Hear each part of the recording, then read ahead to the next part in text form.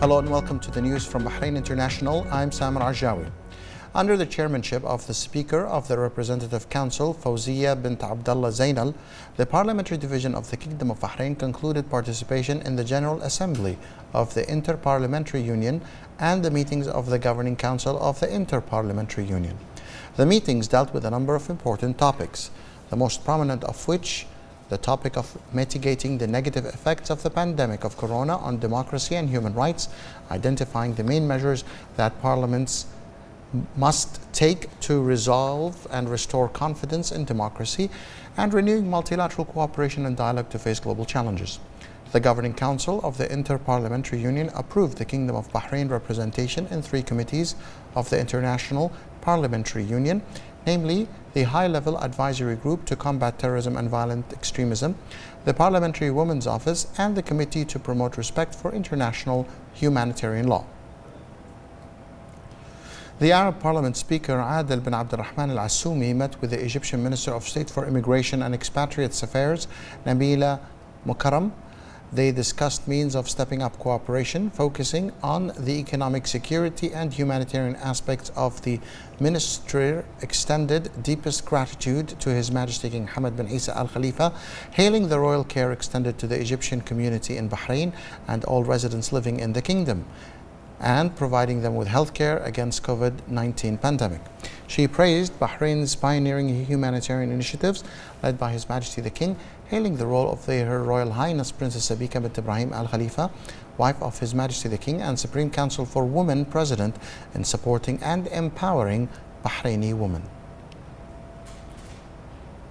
Following the directives issued by the National Medical Task Force to combat the coronavirus to temporarily close non-essential businesses from early Friday 28th of May to 10th of June 2021, while hypermarkets, supermarkets, cold stores, bakeries, pharmacies and banks remain open and restaurants continue to provide services through takeaway or delivery only.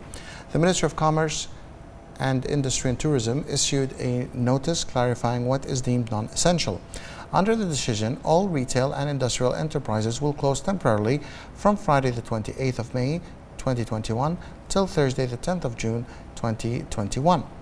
The following types of businesses are excluded from them under these measures and may continue to operate as usual.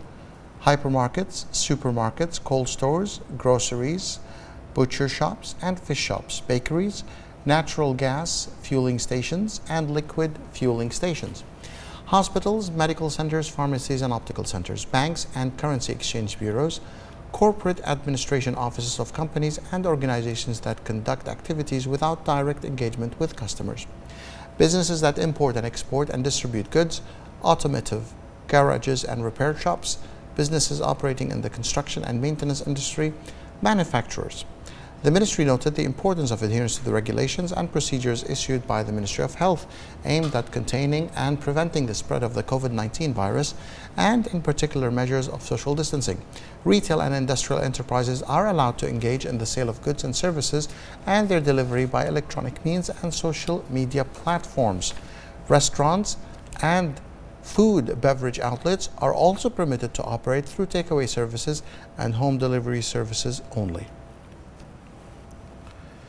The president of the Civil Service Bureau, President Ahmed bin Zayed Zayed, issued civil service directives 4 for the year 2021 regarding the application of the work from home policy and the mandatory periodic rapid antigen tests for government employees at workplaces.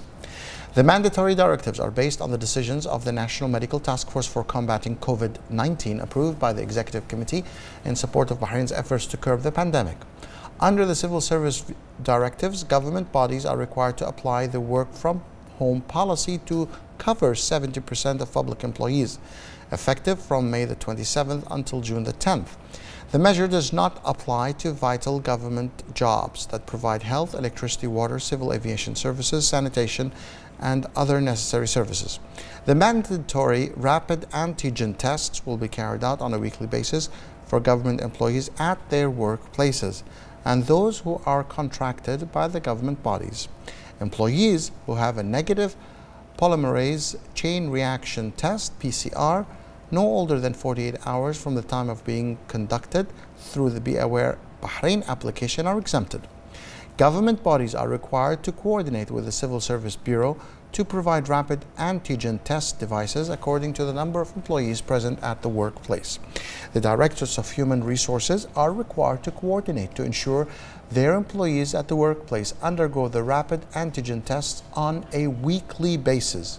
In the event that one of the employees' tests is positive, he or she must immediately report his or her case and take the necessary measures in accordance with the guidelines in force set by the competent authorities and inform the direct superior.